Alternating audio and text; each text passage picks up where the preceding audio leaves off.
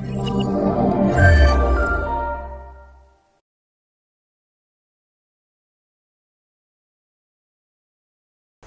வணக்கம். என் பேர் கருணாநிதி நான் எங்கே இருக்கேன் அப்படின்னு பார்த்துக்கிட்டிங்கன்னா கரூர் மாவட்டத்தில் வந்திருக்கேன். கரூர் மாவட்டத்தில் எங்கே இருக்கேன் அப்படின்னா கடவுர் வட்டத்துக்கு கீழே வந்திருக்கேன்.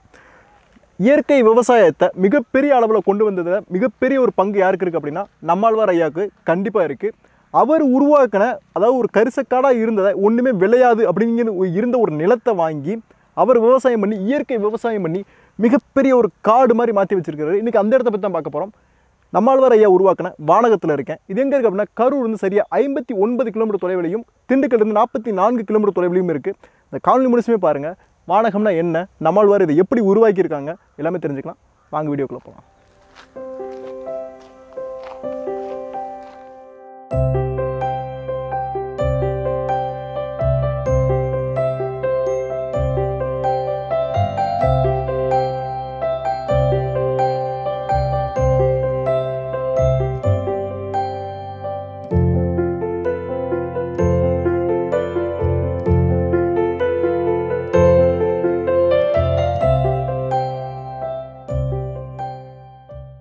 வணக்கம். என் பேர் செந்தில் கணேசன். நான் கடவுர் பகுதியை சேர்ந்தவன் தான். ஐயா வந்து ரெண்டாயிரத்தி ஒம்போதில் இந்த பண்ண ஆரம்பித்தாங்க ஆரம்பிக்கிறப்ப நானும் சும்மா சாதாவாக இங்கே வேலைக்கு தான் வந்தேன். ஐயா பற்றி அது தெரியாது. இங்கே வந்ததுக்கு அப்புறம் தான் ஐயாவுடைய விஷயங்கள் நிறைய விஷயம் நான் கற்றுக்கிட்டேன் அப்போ ஐயா யதார்த்தமாக இந்த ஊருக்கு வந்திருந்தப்போ கேட்ட விஷயம் என்னென்னா இங்கே ரொம்ப சூழல் நல்லா இருக்கிறனால வந்து பார்த்தீங்கன்னா ஒரு நாற்பது வருஷம் ஐம்பது வருஷம் உழுவாமல் கிடந்த இடம் யாராவது இருந்தால் சொல்லுங்கள் அப்படின்னாங்க. அதுக்கு முன்னாடி வந்து பார்த்திங்கன்னா ஐயா ஒவ்வொரு இடத்துக்கும் வெளியே போய்கிட்டதுனால நமக்கான ஒரு பண்ணையாக உருவாக்கணும் அப்படிங்கிற நோக்கத்துக்காக தான் இங்கே வந்து இந்த பண்ணையை இங்கே இடத்த வாங்கினாங்க. ஒரு ஐம்பது ஏக்கர் வாங்கி இங்கே இயற்கை விவசாயம் பண்ண ஆரம்பித்தாங்க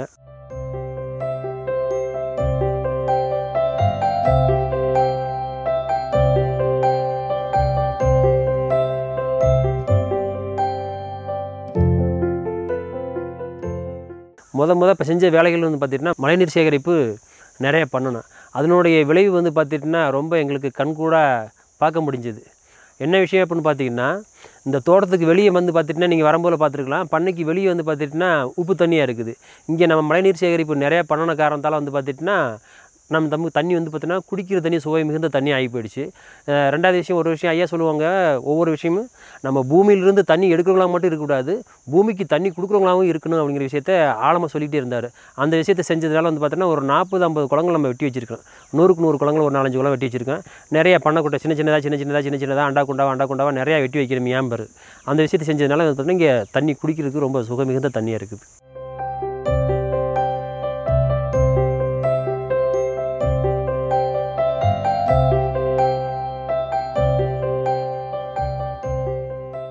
இது வந்து ஐயாவுக்கான கட்டப்பட்ட குடில்.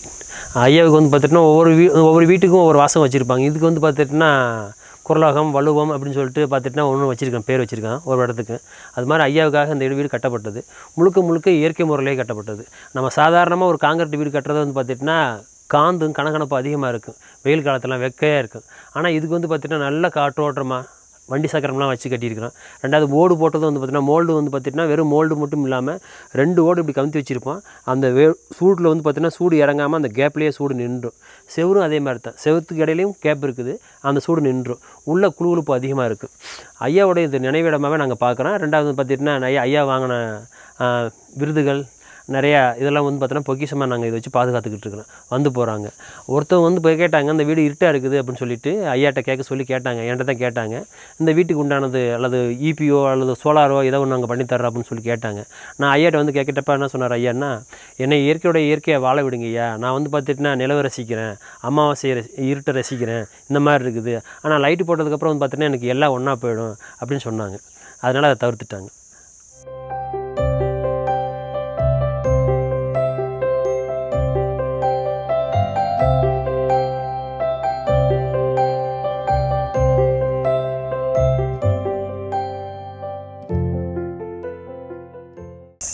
வணக்கம். என்னோடய பேர் கா யுவராஜ். சொந்த ஊர் வந்து திண்டுக்கல் மாவட்டத்தில் கன்னிவாடி. ரெண்டாயிரத்தி பதினாறுலேருந்து நான் வானகத்துக்கு வந்துக்கிட்டு இருக்கேன். ஒவ்வொரு தடவையும் கல்லூரியில் விடுமுறை கிடைக்கும்போது இங்கே தன்னார்வலராக வந்துட்டு போய்கிட்டு இருந்தேன். ரெண்டாயிரத்தி பத்தொம்போதில் பிஎஸ்சி பாட்னி முடித்த அந்த நேரத்தில் தருமபுரி மாவட்டத்தில் நல்லம்பள்ளி அப்படின்னு ஒரு இடம் இருக்குது அங்கே நாகர்கூடலில் புவிதம் அப்படின்னு ஒரு மாற்றுப்பள்ளி இருக்குது அந்த பள்ளிக்கூடத்துக்கு குழந்தைகள் பயிற்சிக்காக போயிருந்தோம். அந்த குழந்தைகள் பயிற்சியில் மீனாட்சி அம்மா இந்த அடுப்பு செய்யறதுக்கு கற்றுக் கொடுத்தாங்க. புவிதம் பள்ளிக்கூடத்தில் இந்த மாதிரியான அடுப்புகளில் தான் குழந்தைகள் சமைக்கிறாங்க. அதுபோல் அடுப்பு அங்கே நாங்களும் கற்றுக்கணும் அப்படின்றதுக்காக சொல்லி கொடுத்தாங்க. அதன் மூலமாக நாங்கள் வானகம் வரும்போது மீனாட்சி அம்மா இந்த மாதிரி ஒரு அடுப்பு நம்ம செய்யலாம். அப்படிங்கும்போது வானகத்துக்கு பயனுள்ளதாக இருக்கும். ஏன்னா பயிற்சி சமயத்தில் நிறைய பேத்துக்கு சமைக்க வேண்டியிருக்கு. அப்போ கல்லடுப்பில் நம்ம சமைக்கும்போது நிறைய புகையடிக்குது விறகு நிறைய தேவைப்படுது. அந்த மாதிரி சூழல் இருக்கும்போது இந்த மாதிரி ஒரு அடுப்பு நம்ம செஞ்சுட்டோம் அப்படின்னா எப்பயுமே நம்ம பயன்படுத்திக்கிறதுக்கு எளிமையாக இருக்கும் அப்படின்றதுக்காக இந்த அடுப்பை இங்கே வானகத்தில் கட்டணும்னு அம்மா சொன்னாங்க.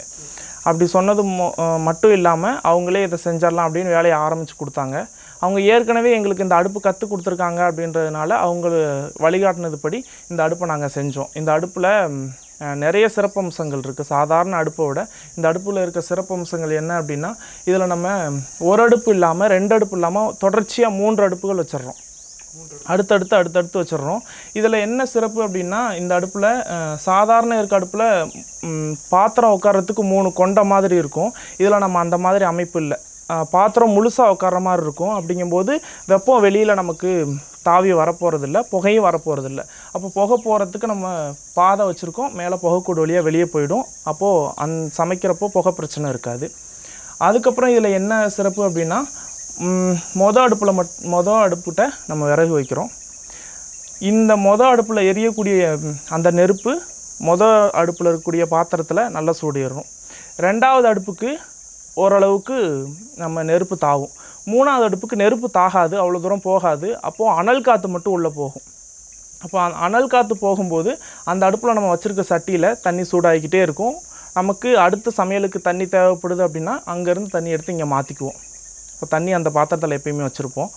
இப்போது நாங்கள் அது ஒரு சின்ன குழந்தைகளுக்கான பள்ளிக்கூடம் அப்படின்றதுனால மழைக்காலங்களில் குளிர்காலங்களில் அவங்களுக்கு குடிக்கிற குளிக்கிறதுக்கு குடிக்கிறதுக்கு சுடுதண்ணி தேவைப்படும். அந்த சமயங்களில் உடனே உடனே வச்சு கொடுத்துக்கிட்டு இருக்க முடியாது. அப்போ இந்த மாதிரி அடுப்பில் நமக்கு எப்பயுமே சுடுதண்ணி இருந்துக்கிட்டே இருக்கும். சமைச்சு முடிச்சதையுமே என்ன பண்ணுவாங்கன்னா மூணு அடுப்புலையுமே பாத்திரத்தை வச்சு நிறைய தண்ணி ஊற்றி வச்சுருவாங்க. ஏற்கனவே எரிஞ்ச அந்த அனல் வந்து தண்ணியை சூடு பண்ணிக்கிட்டே இருக்கும். அடுத்த நாள் காலையில் வரைக்குமே நாங்கள் அந்த தண்ணியை பயன்படுத்திக்குவோம். அதுக்காக அந்த பள்ளிக்கூடத்தில் கட்டப்பட்டது. அதனால வானகத்துலேயும் தேவைப்படும்னு சொல்லி நம்ம கட்டணும்.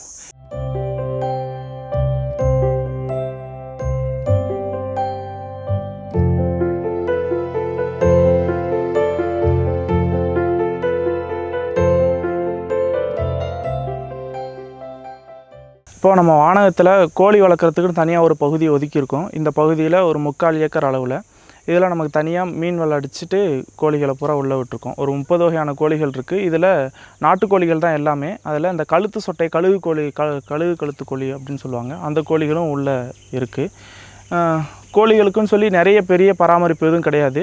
உள்ளேயே கோழிகள்லாம் சுற்றிக்குது இங்கே இருக்க இறைகளே அது பொறுக்கி சாப்பிட்டுக்குது. நம்ம இறைன்னு புதுசாக எதுவும் கொண்டு வந்து கொடுக்கறதில்ல. காலையிலையும் மாலையிலையும் மட்டும் ஒரு நேரத்துக்கு அரிசி போடுறோம் கம்பு போடுறோம். இதில் மஞ்சத்தூள் இந்த மாதிரியான நோய் எதிர்ப்பு சக்திக்கான பொருளையும் கலந்து இதில் நம்ம கொடுக்குறோம்.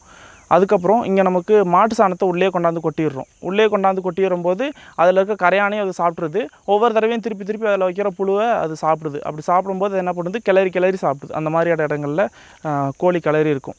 அப்போது கோழி கிளறி கிளறி சாப்பிடும்போது திருப்பி திருப்பி மேலேயும் கீழேயும் போகும்போது நல்லா எருவாயிடுது. அதை நம்ம எடுத்து நம்ம விவசாயத்துக்கு பயன்படுத்திக்கிறோம். கோழிகளுக்கு பெரிய பராமரிப்பு இல்லை. இந்த மாதிரி கூடாரம் ஒன்று ரொம்ப சாதாரணமாக இங்கே இருக்க குச்சிகளையே பயன்படுத்தி கூடாரம் அமைச்சிருக்கு. இந்த கூடாரத்தில் மாலை நேரங்களில் கோழி இங்கே வந்துடும் இறை சாப்பிட்டதையுமே மேலே ஏறி அந்த குச்சிகள் தான் வச்சுருக்கோம். குறுக்க குச்சிகளை மட்டுமே வச்சு கட்டியிருக்கோம். இந்த குச்சிகளில் உக்காந்திக்கும். உட்காந்து இதில் தூங்கிக்கும்.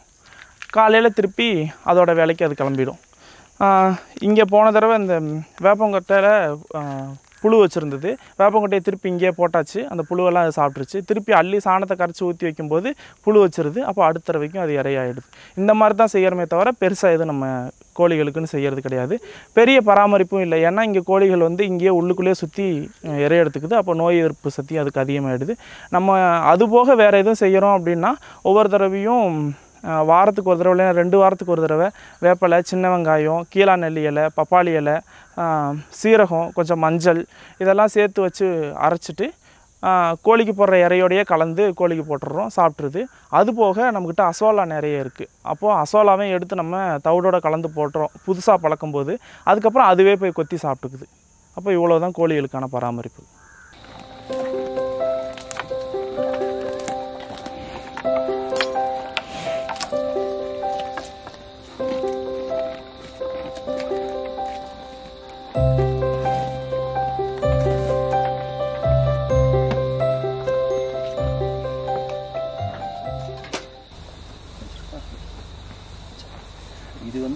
ஒரிஜினல் காங்கேயம். இந்த மாட்டுக்கு ஒரு வரலாறு இருக்குது. என்னென்னா அந்த மாடு வந்து பார்த்துட்டுனா செனையே பிடிக்காது அப்படின்னு அடிமாடி விற்க போனாங்க. அங்கே பார்த்துக்கிட்டு இருந்த நண்பர்கள் வந்து பார்த்துட்டுனா அவர் மாட்டுக்காரருக்கு கொஞ்சம் நண்பர்களாக சேர்ந்து பணம் கலெக்ட் பண்ணி அந்த மாடை கொடுத்துட்டு அவர் காசு கொடுத்துட்டு கொண்டாந்து இங்கே கொண்டாந்து விட்டாங்க. சினையே பிடிக்காதுன்ட்டு. ஒரு ஒரு வருஷமாக ஒன்றரை வருஷமாக இங்கே வந்து இருக்குது. ஒரு இப்போ அவர் வந்து பார்த்துட்டுனா அதுக்கப்புறம் வந்து பார்த்தீங்கன்னா இங்கே உள்ள சூழலுக்கு அது பழகிட்டு அதுக்கப்புறம் வந்து பார்த்தீங்கன்னா அந்த மரத்துக்களை கட்டிட்டு இருந்தாங்க இங்கே தான் பண்ணையில் உள்ள தீவனத்தெல்லாம் சாப்பிட்டதுக்கப்புறம் வந்து பார்த்தீங்கன்னா இப்போ மாடு சென்னையாயிடுச்சு இப்போ கணுக்குட்டி போடுற ஒரு எட்டு மாதம் சென்னையில் இருக்குதுங்க. இது வந்து ஒரிஜினல் காங்கேயம். இந்த மாடெல்லாம் வந்து பார்த்தீங்கன்னா மணப்பாறை. நம்ம பகுதியில் வந்துதான் இருக்குது. மத்தியானம் வெயில் நேரத்தில் இந்த மரத்தில் தான் நம்ம வந்து பார்த்துட்டுனா காலையிலேருந்து சாயங்காலம் வரல இங்கே தான் நிற்கிது இந்த மரத்தை வந்து பார்த்துட்டுனா ஒரு தப்பான ஒரு தகவல் தகவல் போயிட்டு இருக்குது. ஆனால் வந்து பாத்தீங்கன்னா இந்த மரத்துக்களை கட்டுற மாடு வந்து பார்த்தீங்கன்னா சென பிடிக்காது. ஒரு மாதிரி வந்து பாத்தீங்கன்னா மலடாகி போயிடும் அப்படின்னு சொல்லுவாங்க. நம்ம மாடு வந்து பார்த்துட்டுனா இங்கே பண்ணையில் ஆரம்பிச்சப்பே மாடு வாங்கிட்டோம். ஒவ்வொரு மாடும் ஆறு கன்று ஏழு கன்று போட்டிருக்குது. இந்த மரம் தான் ஒரு காலத்தில் ஐயாவே இதை பற்றி நிறைய விளக்கியிருக்காரு. ஏன்னா ஒரு காலத்தில் எங்களுக்கு வீடு இல்லாதப்ப வந்து பாத்தீங்கன்னா பண்ணையில் எந்த ஒரு நிலையில் இல்லாதப்ப ஃபர்ஸ்ட் ஃபர்ஸ்ட் அடைக்கலம் கொடுத்த மரம். அதனால வந்து பாத்தீங்கன்னா இந்த மரத்தை நாங்கள் வந்து பாத்தீங்கன்னா வானத்தில் வீடாக பார்க்குறோம் அந்த மரத்தை. மாடு வந்து பார்த்துட்டுனா இன்னைக்கு வந்து பார்த்துட்டுனா ஒரு ஒம்பது மாடு இருக்குது. கண்ணுக்குட்டி ஒரு மூணு கண்ணுக்குட்டி இருக்குது. மொத்தம் வந்து பார்த்துட்டுனா ஒரு நாலு அஞ்சு இன்னும் ரெண்டு காளை இருக்குது. காளைனா அது காயடிச்ச காளை இருக்குது. அது வந்து பார்த்துட்டுனா பண்ணையோட வேலைகளுக்காக வச்சிருக்கிறோம். பதினாலு மாடு இருக்குது இங்கே வந்து இருக்குது. ஒரு ரெண்டு எருமை இருக்குது. ஆடு வந்து ஒரு நாலு ஆடு இருக்குது. கோழிகள் கொஞ்சம் வச்சிருக்கோம் இது என்னென்னா ஒருங்கிணைந்த பண்ணையம் ஆக்கிறதுக்காக உண்டான வேலைகள் நாங்கள் பார்த்துக்கிட்டு இருக்கிறனால வந்து பார்த்தீங்கன்னா எங்கள்கிட்ட எல்லா கால்நடையும் நாங்கள் வளர்த்துக்கிட்டு